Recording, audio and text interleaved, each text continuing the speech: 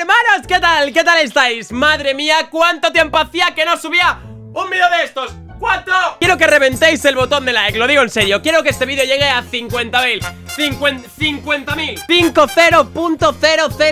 Se nota, hermanos, que he estudiado matemáticas no mucho, pero se nota. En fin, el vídeo de hoy es bastante especial Y no simplemente porque haya una historia del pequeño Fola Sino porque tengo una sorpresa que daros que... Oh my god Creo que, creo que no estáis preparados. Por cierto, me toca afeitar, lo sé, lo sé. Like, suscríbete si quieres que me afeite Porque llevo como 5 días sin afeitarme Y esta es la mierda que me sale. No me sale barba, hermanos. No me sale barba. Que, que, que No es mi culpa, ¿vale? No es mi culpa. Por cierto, sé que os mola la camiseta. Lo, sé, es, es, es de Fortnite. Fortnite, es mi juego favorito, hermanos. Mi juego...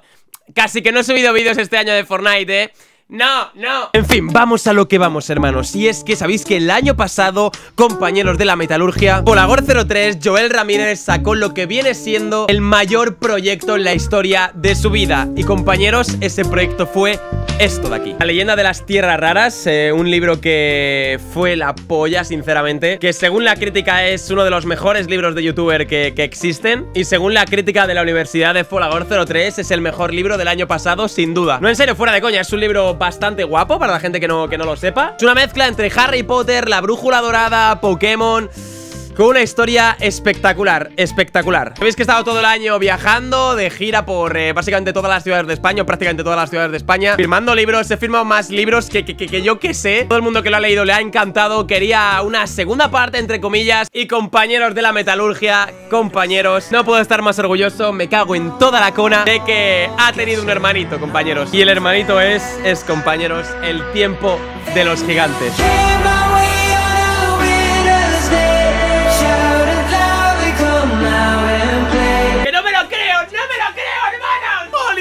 Es que, es que es espectacular, de verdad Es espectacular. Narra las aventuras de los mismos personajes que, que, este libro La leyenda de las tierras raras. Si no te has leído el primero, puedes leer esto perfectamente. Si te has leído el primero, es obligatorio que te leas este Pero obligatorio, o sea, no. ¿Te has leído el primero? ¿Viste el final? Compañeros Compañeros, este libro es ¡La pene! Junta lo mejor del primero, hermanos, y lo mejora hasta, hasta el infinito y más allá. El libro es mío, evidentemente, también me, han ayudado, la gente de Planeta me ha ayudado, pero creo que, que, está bastante mejor que el primero. Y, repito, el primero es, es que es la pene, o sea, yo creo que posiblemente esté el tiempo de los gigantes. Además, eh, para la gente que no lo sepa, la portada, compañeros, la portada está hecho por un fan mío. Está hecho por la persona, Joa, el que me hace todos los fanarts de puta madre. Está hecho por él, le contacté yo, eh, habló con Planeta y ha hecho la portada que es espectacular espectacular. El libro sale mañana, es decir, mañana podéis ir a cualquier tienda del mundo y pillar el libro. Sed rápidos, sed rápidos. Porque se van a agotar, lo digo en serio, se van a agotar, así que sed bastante rápidos. En cuanto a firmas y eso, habrá una en Madrid eh, a finales de mes. Seguidme por redes sociales, seguidme por YouTube.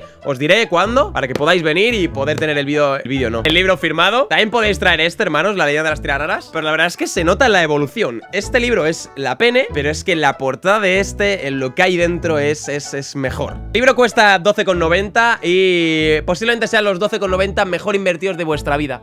Ya está.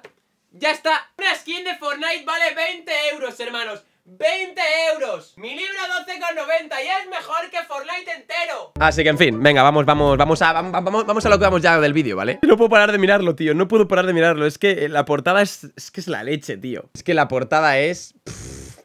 Es brutalítica, tío, me cago en la cona. En fin, venga, vamos para allá, vamos a lo que vamos. La gente que no lo sepa, yo nunca he sido un estudiante de pe a pa Yo tengo, tengo los estudios eh, básicos, tengo eh, primaria, tengo secundaria y tengo bachillerato. Todo aprobado, evidentemente, después estaba estudiando Pero me pilló YouTube y decidí dejar los estudios por eh, darle, darle más prioridad a YouTube. De hecho, el año que estuve estudiando en YouTube fue una auténtica locura. O sea, ya, ya llevaba como tres años en YouTube cuando decidí dejar los estudios y mm, centrarme en YouTube de hecho, pasé segundo de bachillerato subiendo un vídeo diario o dos, más estudiar bachillerato y lo saqué, hermanos.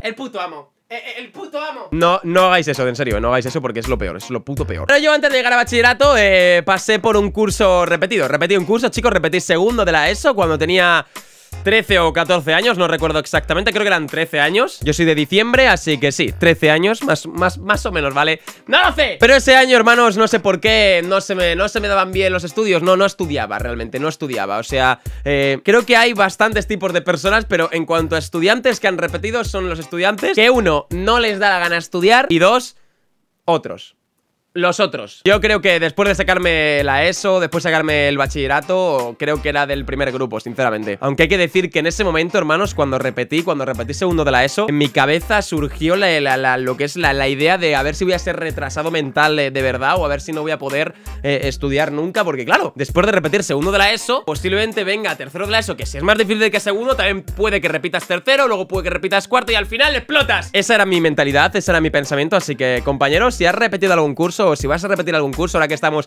en septiembre, estáis con las eh, recuperaciones. Por cierto, las recuperaciones, hermanos, consejo de recuperaciones que aquí, aquí hay un maestro, aquí hay un maestro. Yo he recuperado, mm, madre mía, he recuperado más asignaturas en septiembre que, que, en todo el año, lo digo en serio. El consejo básico de los exámenes de septiembre es estar hasta el último minuto, estar hasta que el profesor te quita el examen de la mesa. Nunca se sabe cuando alguien, algo, o, puede, puede que caiga un meteorito y puede que mientras cae ese meteorito puedas coger el examen que el que tiene al lado y copiarlo a la pregunta que no te sepas. Nunca se sabe, puede que el profesor te diga una pregunta si, si quedas el último de, de, lo que es la, la, clase. De hecho, me ha pasado a mí. Pasó a mí en Historia del Arte, creo, o algo así por el estilo. No recuerdo exactamente. Me quedó para septiembre, quedaron como a 20 personas, hermanos, y yo me quedé hasta el último. Me quedé el último. Eh, eh, the last, the last. Ahí estaba, hermanos intentando rascar algún punto, alguna décima, yo qué sé, porque podía que tener un 4,9 y si rascas una décima, ese 4,9 puede que sea un 5. Y efectivamente, hermanos, quedé el último y le dije, profe, profe, ¿me puedes decir eh, esto cómo es? Y no me lo dijo exactamente, pero me dio ideas de pensar que era esto, ¿vale? O sea, era muy raro, pero compañeros, el consejo es que os quedéis hasta el último maldito minuto. Nunca sabe qué es lo que puede pasar hasta que el profesor te quita el examen de la mesa Dicho esto, segundo de la ESO, hermanos Me quedaron, creo que fueron 6 eh, o 7 Eran 6 para septiembre Claro, cuando te quedan 6 para septiembre Es que es complicado, es complicado recuperarlo eh, nunca me han quedado tantas en septiembre, solo ese año. Y al final recuperé tres y bueno, yo creo que podría haber recuperado mínimo cinco, la verdad, sinceramente lo digo. Pero, pero en fin, en ese colegio sabían que querían que repitiera y repetí y ya está. La cosa, hermanos, es, es el cómo me sentí yo cuando vi que, repetía. O sea, yo hice los... Yo, yo, estudié bastante, hay que decirlo, estudié en agosto. Eh, hice todos los deberes de, las recuperaciones para poder presentar, presentarte, perdón, a las recuperaciones. Hice los exámenes, yo pensaba que me habían salido relativamente bien. Sabía, a ciencia y cierta, sabía que había recuperado cuatro mínimo Por lo tanto yo iba en plan, bueno, no, no voy a repetir. Pero claro, hermanos, el día de las notas Recuerdo que me levanté súper, súper, súper temprano De hecho fui al colegio eh, a las 8 de la mañana Porque pensaban que, a las, que pensaba yo que a las 8 y media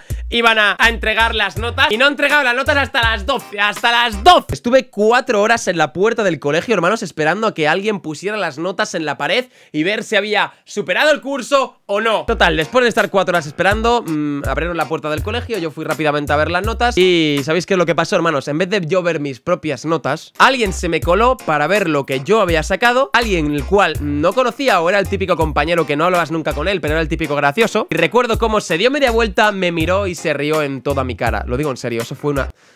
Como en plan... ¡Ja!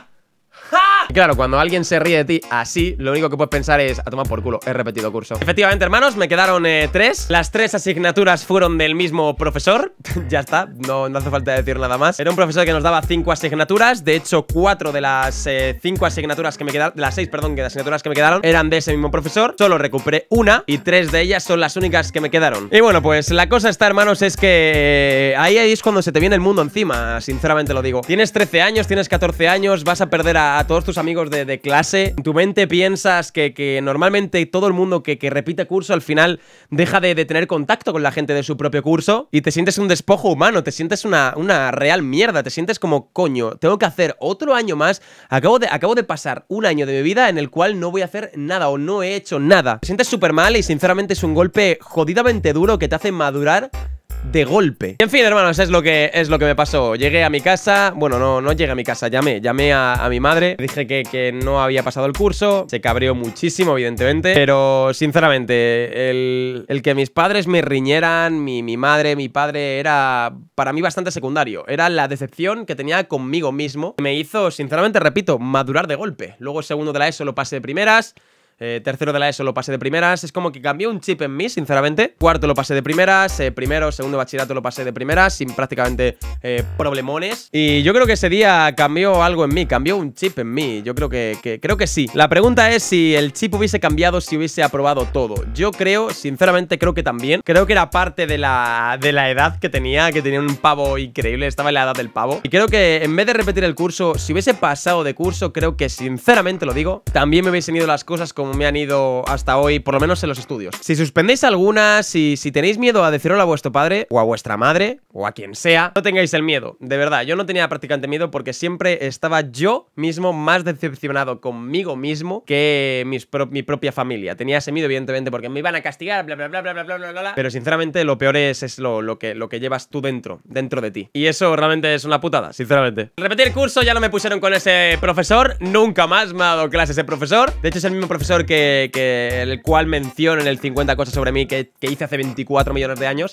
De hecho, debería de actualizar ese 50 cosas sobre mí, sinceramente. Y en fin, hasta aquí. Vale, pues nada más, chicos, vamos a dejarlo por aquí. Espero que os haya gustado este vídeo. Madre mía, madre mía, el tiempo de los gigantes.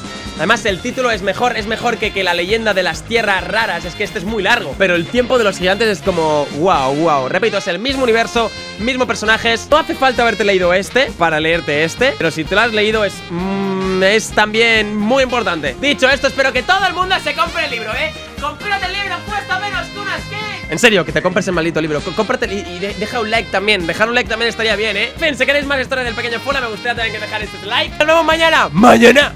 ¡Basta, boy! Venga, chicos, hasta la próxima ¡Adiós!